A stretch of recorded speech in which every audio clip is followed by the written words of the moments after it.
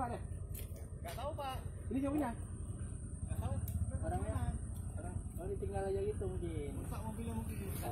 Oh. Iya. iya.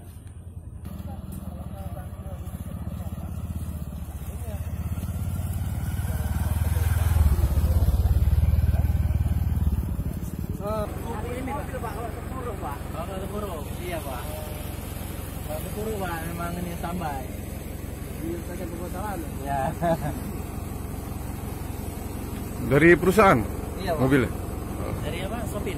Dari PT BDS. Eh. PT BDS ya? Iya Pak.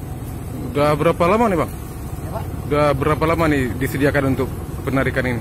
Oh, kalau ada mobil terpuruk aja Pak, kita Oh. narik. Oke, kasih pak.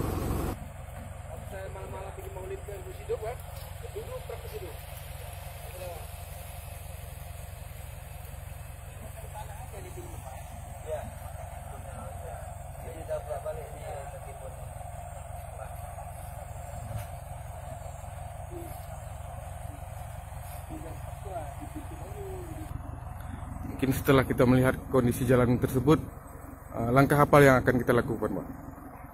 Eh, Pak Bupati tadi pagi udah menyampaikan ke kita sebelum kita ada upacara di Kemenang, Bupati akan memanggil instansi terkait, instansi, in- instansi terkait, SKPK terkait untuk segera, segera untuk apa,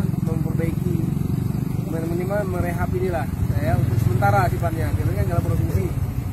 Ya, itu yang kedua juga akan memanggil semua perusahaan yang dekat-dekat sini, sekitar sini untuk bisa membantu ini cepat.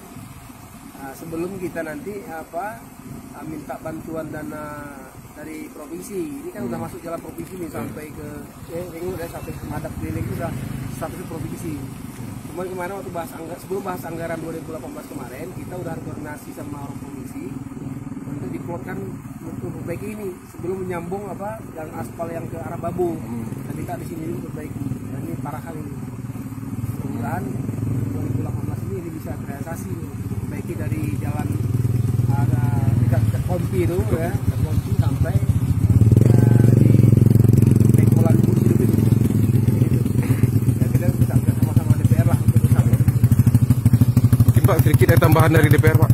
Kami dari lembaga legislatif mendukung penuh upaya yang dilakukan pihak uh, eksekutif, bupati dan wakil bupati untuk memperbaiki jalan ini sambil kita menunggu anggaran dari APBA turun. Siap. Oke, terima kasih pak.